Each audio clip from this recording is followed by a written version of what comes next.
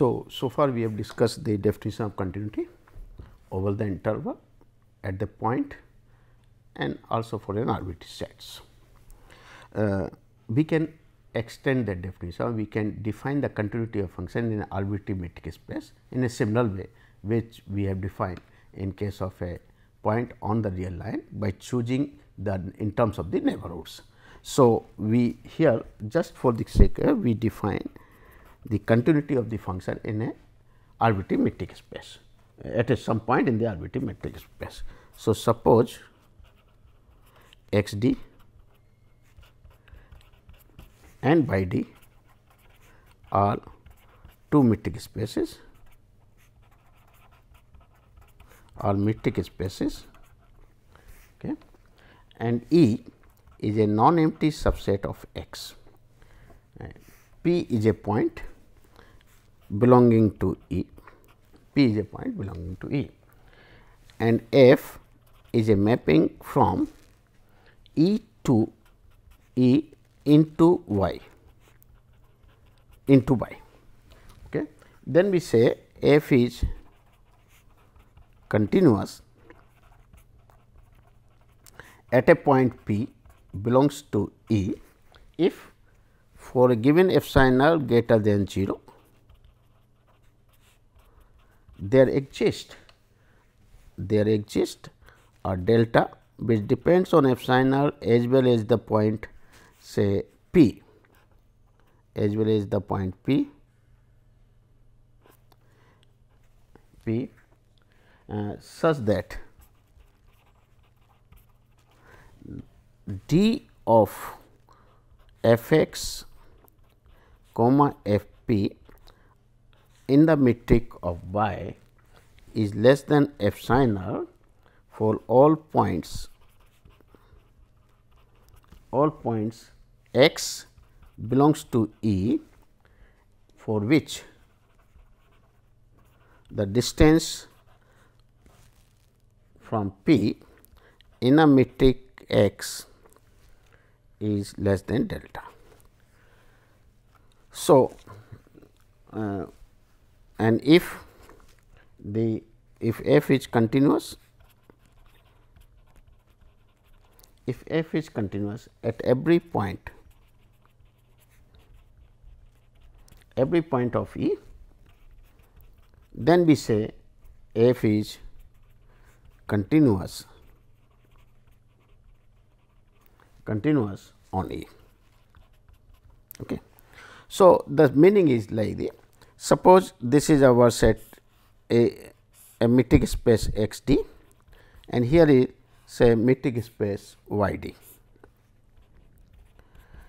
E be a non-empty subsets of x and p is any arbitrary point in uh, p is a point in E. F is a mapping which maps E to E into y.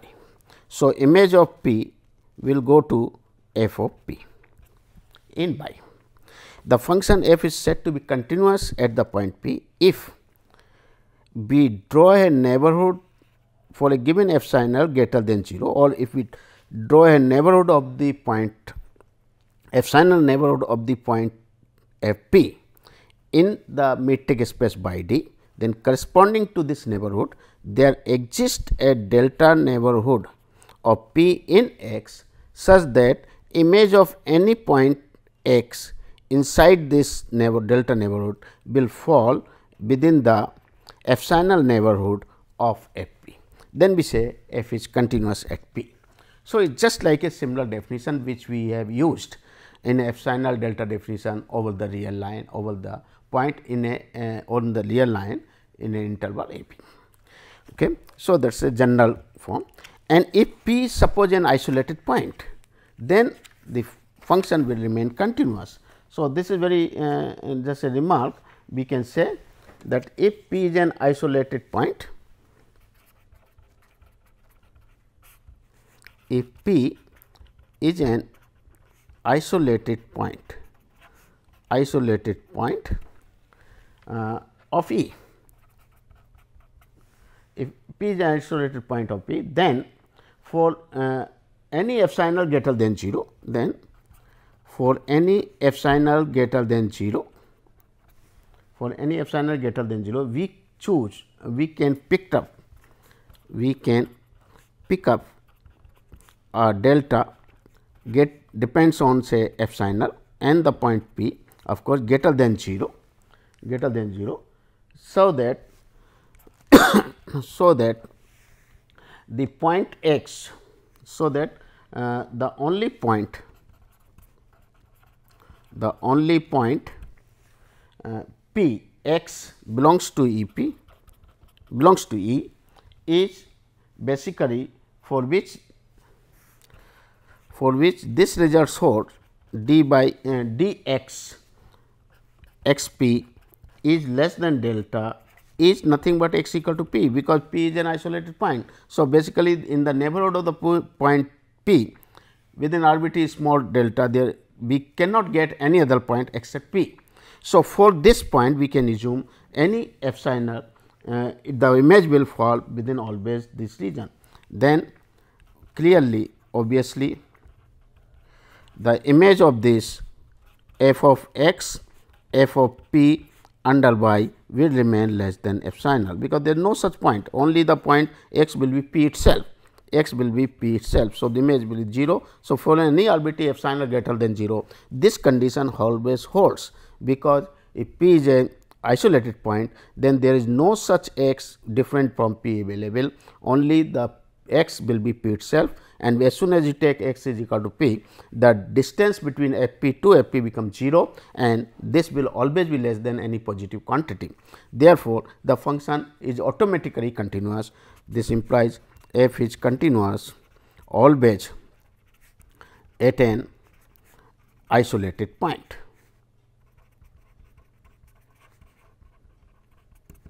which is 2. Okay. Now, in this lecture we wanted to give the some relation between the continuity and compactness, continuity and connectivity. So, those results are interesting that is we have seen that uh, image of a open set or image of a closed set under a continuous function need not be a closed or open set need not be an open set. So, this will uh, give a very give gap that we cannot assure that image of a uh, open set under a continuous function will always remain open or image of the closed set will always remain closed. That is not uh, uh, that we have seen a counter example for it. However, in case of the compact set this is uh, very interesting result if x is compact the f of x will be compact that we will show. So, the relation between the continuity and compactness if f is continuous it is a very interesting one but prior to this we need a definition of the continuity in terms of the uh, inverse image of the open sets. So, that gives a result which can also be treated as a definition for a continuity a mapping f a mapping f of a metric space x d. X d. Say here dx of course, we write uh, into a metric into a metric by d a mapping f of a metric space x d into a metric by d uh, is continuous on x is continuous on x if f inverse if f inverse v is open is open in x in x for every x d in x for every open set V in Y. in Y. That is the meaning is that f is continuous f is continuous on x if and only if inverse image of the open set is open inverse image of an open set is open is always open. So, that gives another criteria to judge whether the function is a continuous or not. So, that is a in testing particularly it is used when the topology uh, in topology uh, normally the definition of the continuity is taken is this way. The inverse image of the open set is open then the function will be said to be a continuous. Let us see the proof of this uh, theorem because it will need like that.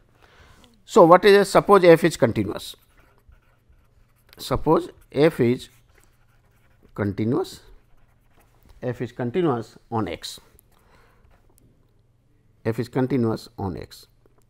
Okay. We wanted the inverse image of the open set is open. So, let us take V be an open set V V is an V an open set in by. In order to show the inverse image of V is open, what is required? It is required to prove to prove that every point every point of this set f inverse v is an interior point. So, if it is interior point then f inverse v will be open. Okay. So, this we wanted. So, let us pick up a point. So, suppose p is a point belonging to x such that f of p is in V. So, what do you mean? It means that is f p is taken in the set of f inverse b. Okay? That is what it means. Now, we wanted to show there exists a neighborhood around the p which is totally contained in f inverse b. Okay? So, let us start with this. What is b? Since b is giving to b, since v is open, it is already given and f p is a point in b this is the point in V. So, we can find a epsilon neighborhood around the P FP which is totally contained in B. So, uh, so there exist n epsilon greater than 0 such that such that uh, y belongs to capital Y if the distance of uh, f uh, f p from y under the metric y is less than epsilon. Is it not? Distance of this is less than. So, this y belongs to y. Uh, since b over, so there exists this y and since f is continuous and since f is continuous at p. So, for a given epsilon greater than 0 there exists a delta neighborhood in the domain where all the point in the delta neighborhood uh, the image will fall here. So, because it is continuous so there exists delta greater than 0 such that the image of this d of by f x f p this less than epsilon provided the distance between x and p under y is less than delta this by definition. Okay. But all the point which lies here the point y belongs to capital Y if this is uh, all the point with this x 1 less than delta this condition holds. So, this condition means f x is in the epsilon neighborhood of f p. So, x must be the point of the inverse, but no sorry, but if x belongs to f inverse p, f inverse v that is f x belongs to b, then that is f x belongs to v, then what happens then? If f x is in v, f p is also in v and it lies in the epsilon neighborhood of b and f is continuous. Therefore, this continuity. Uh, uh, so, uh, for this epsilon this holds it means the continuity of f follows. So, uh, so uh, because of the continuity we get that uh, so that distance between f x f p will remain less than f Uh, less than epsilon. Now, I will just uh, explain what we did uh, in fact, what we have taken is that this is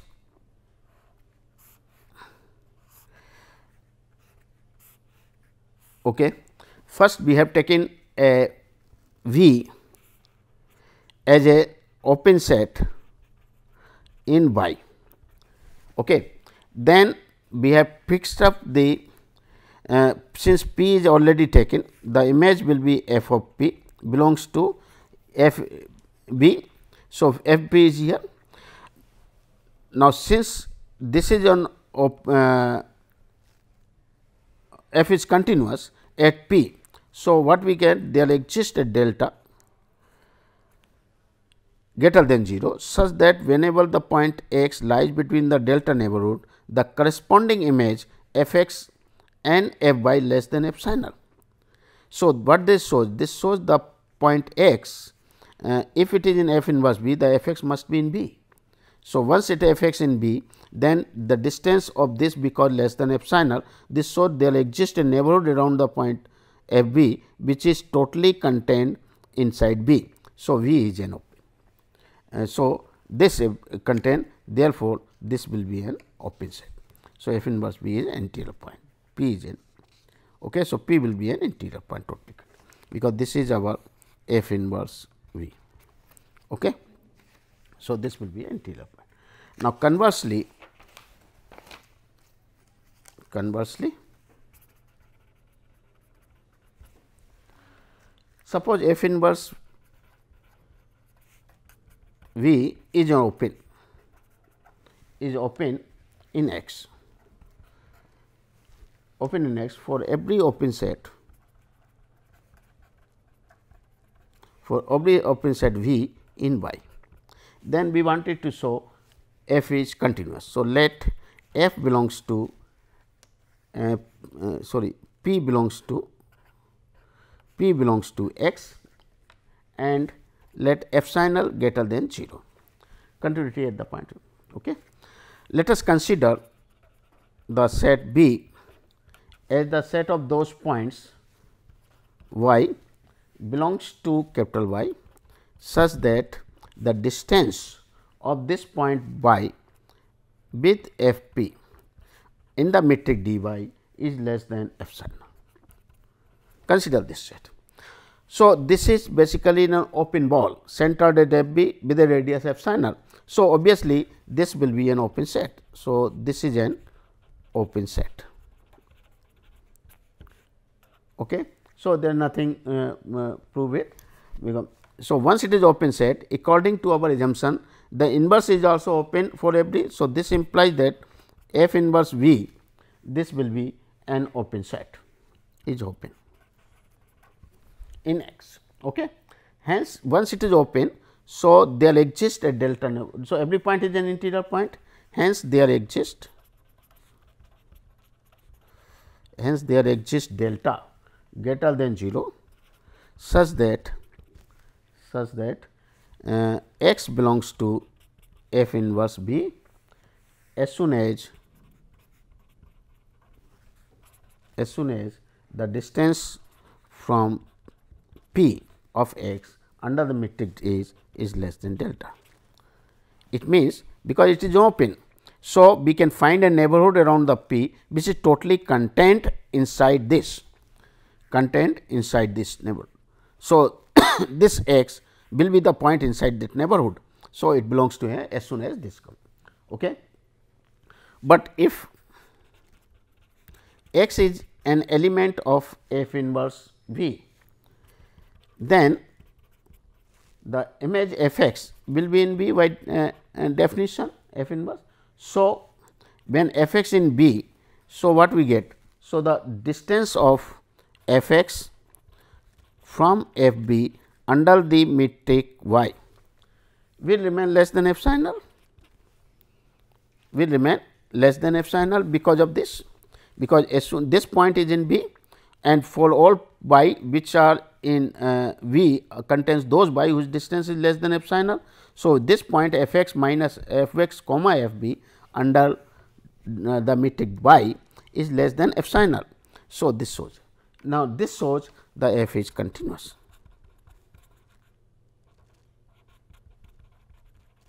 at P and that proves the result. Okay. So, this uh, particular result will be used for establishing the relation between the compactness and continuity. So, let us see uh, the result is relation between continuity and compactness between continuity and compactness.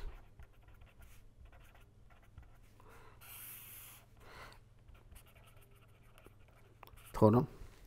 Uh, suppose f is continuous.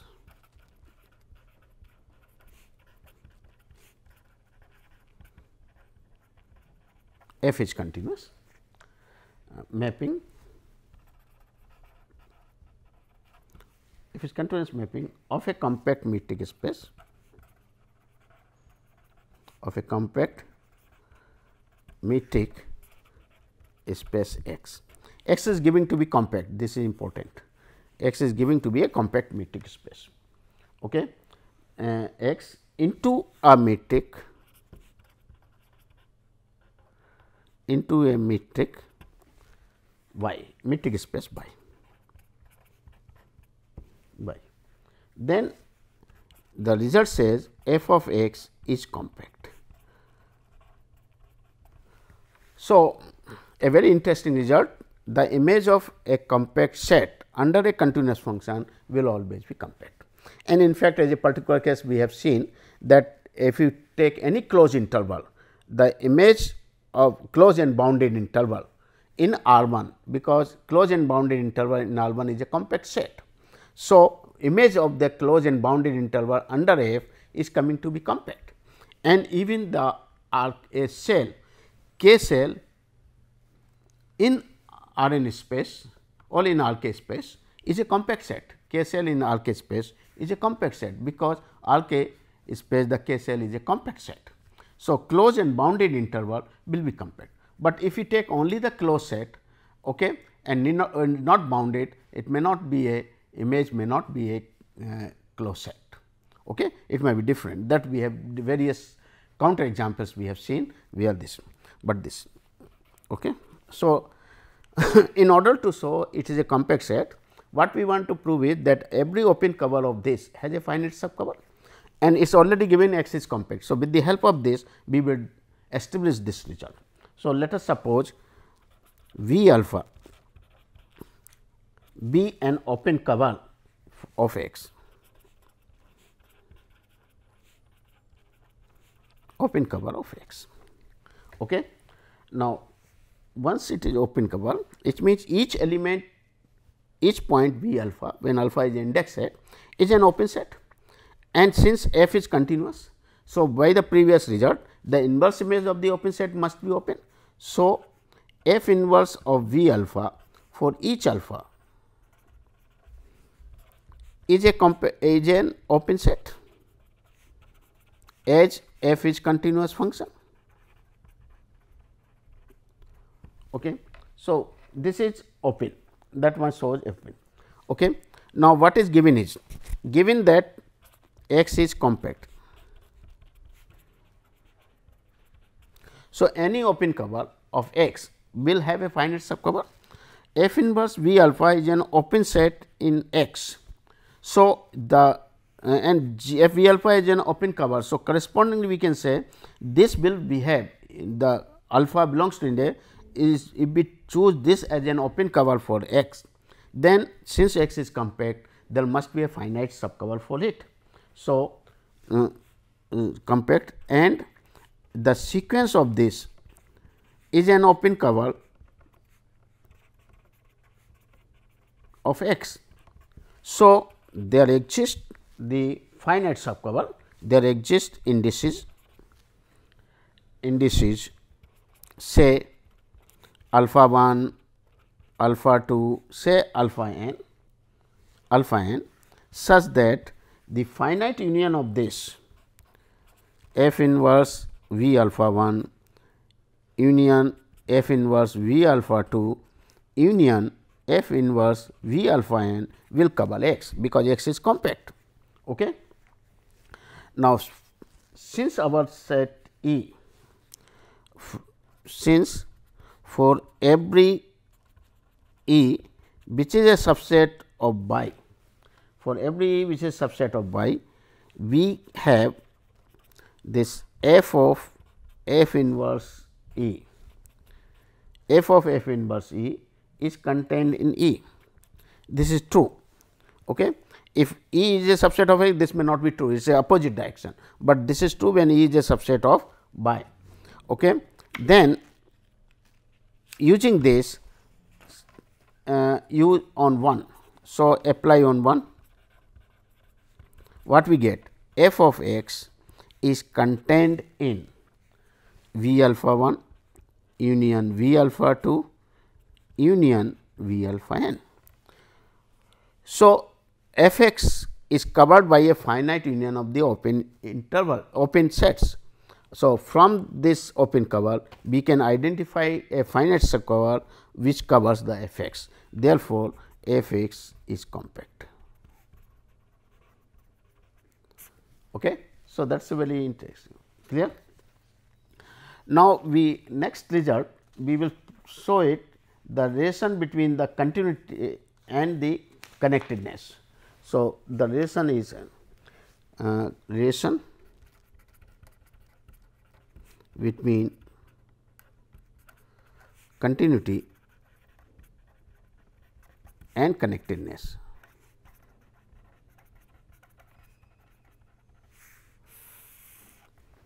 This is also we prove the write in the form of theorem. The theorem is if f is if f is a continuous mapping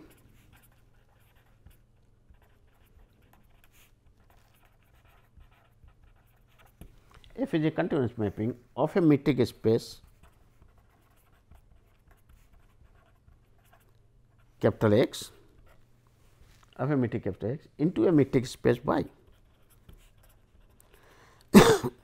Into a metric space y.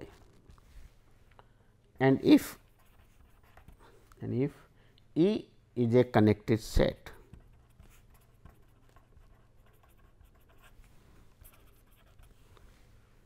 E is a connected subset of E. And E is a connected subset of x sorry subset of x is a connected subset of x. Then f of E is connected. If f is a continuous mapping of a metric space x into a metric space y and if E is a connected subset of x then image of this connected subset will also be connected. Okay, let us see the. Okay. Uh, so assume that contrary. Suppose f e is not connected. Then we will reach a contradiction. So, if it is not connected means that is f e can be expressed as the union of the two sets A and B where A and B are A and B are uh, are non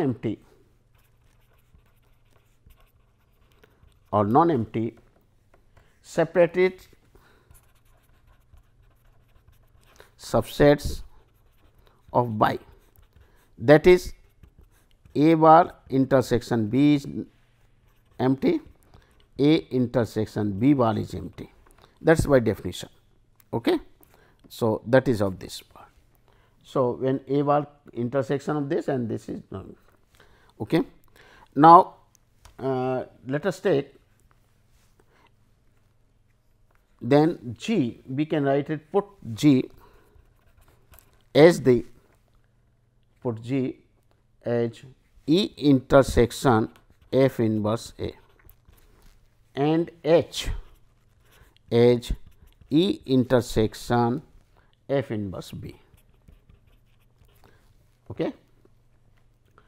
Uh, now, if we take this, what is our F E? This is set E, this is set E, here this is F E, this is F E. we have assumed F E is not connected. It means there are the two sets say A and B okay, such that this condition is satisfied. Now, find out the inverse of this. So, we are getting f inverse A here, f inverse B here. Now, if I find the intersection with A E intersection f inverse G A and E intersection f inverse G, then obviously G and H will be non-empty set because F E we have already assumed is a not connected set. So, there are the non-empty sets A and B, A and B are non-empty whose union is F E and they are separated. So, inverse is intersection of this will be non-empty. So, clearly G and H clearly G and H are non-empty first thing. Okay. So, there is no problem in it and also the union of G H is nothing but E union of this is nothing but E. Okay they are non empty means neither G is empty nor H is empty. Okay. Now, since our A is always contained in its closure, is always contained in its closure and F inverse image of this A closure which is a closed set, A ball A ball which is a closed set. So, inverse image of the open set is open it can be extended to the closed set inverse image of the closed set is closed if f is continuous. So, f inverse a g will be a inverse image will be a closed set. Okay. So, that is not. So, if it is closed and g is uh, there. So, we can say g is contained in because uh, g is already contained g is a subset of this f inverse a. From here g is a subset of f inverse A. So, if we replace this A by a bigger closure of it, obviously, G will remain as a subset of this. So, we can say uh, G is so uh, uh, further G is contained in F inverse A closure. Okay, that's it. since this is closed set, since this is closed set, is closed. So, obviously, all the limit point of this must be here. So, the limit point if I take then of G closure of G closure of G if I take all the point set uh, point of G including the limit point then obviously, it will also be contained inside it. So, this is correct. So, once it follow then what does it mean? It means f of G closure is contained in a closure. This is one thing. So, let it be 1 okay, f of g. Now, what is our h? The h is this E intersection f inverse b. Okay. So, f of h since h is f intersection f inverse b. So, f of h sorry in the E this is E intersection. So, f of h will be what and what is our E? Where E is the uh, E is we have taken this one no? Is connected uh, F E is and F E is sorry f of E is this A union B and A union B they are separated set satisfy this condition. So, if you find the f of h then it becomes F E intersection B. So, that is equal to F E intersection B and then when you find the intersection with this obviously, it comes out to be B. So, f of h will be B. Now, f of G inverse G closure is contained in A bar. A bar intersection B is empty. A bar intersection B is empty and A bar intersection B is empty because A and B are separated set are separated set. These are separated set. So, this is empty set. Therefore, when you find the intersection of G bar, G bar with our H, what happened? Intersection of G bar with H that is nothing but an empty set.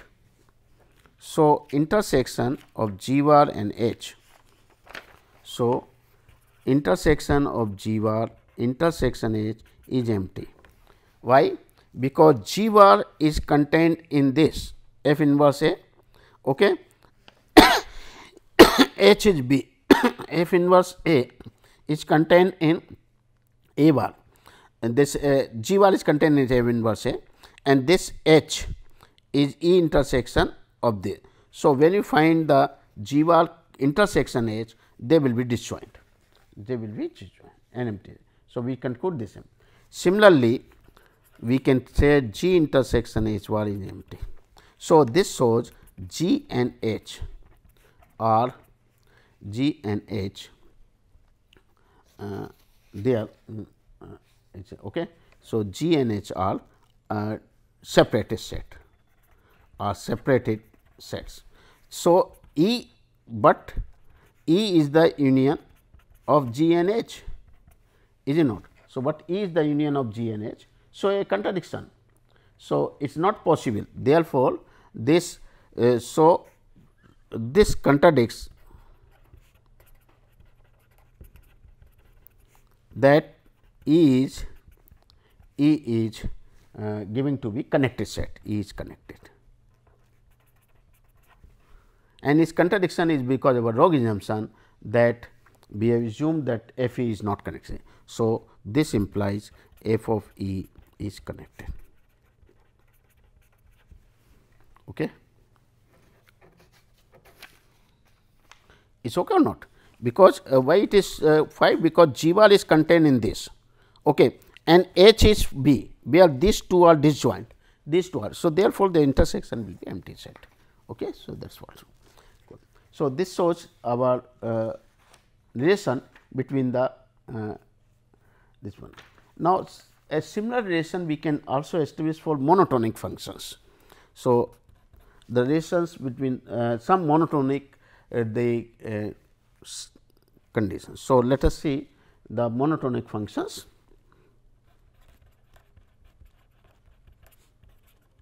If f is continuous then what?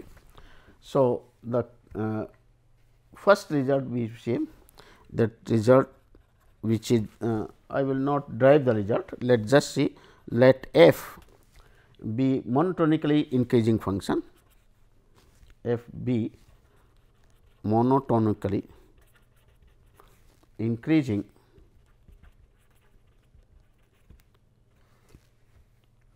on the interval say a b. Then the left right hand limit of this f x when x tends to plus side uh, x tends to plus that is uh, f x plus f x plus that is this is the same as x plus h h tends to 0. So, f x plus and f x minus left hand limit of this that is equal to limit f of x minus h when s tends to 0. And then this exists if f is a monotonic increasing function left hand limit and right limit will always exist at every point at every point of x of the interval a b. And in fact, we have this inequality that supremum of f of t when t lying when t lies between a and x a and x will be equal to the left hand limit which is less than equal to f x which is less than equal to the upper limit and which is equal to infimum of f t when t lies between x and b. So, over the interval this scenario is there means the value of the function f x always lies between the lower limit and the left hand limit and right hand limit Now, if both are equal, then we say the continuity follows. If they are not equal, the point will be the point of discontinuity. The question is how many such points is possible over in the interval a b if the function is monotonically increasing function or monotonic decreasing function. Will that set of points where the monotonic monotonically increasing function is exist there in that will it be countable or uncountable? The answer is that set of all points where the monotonically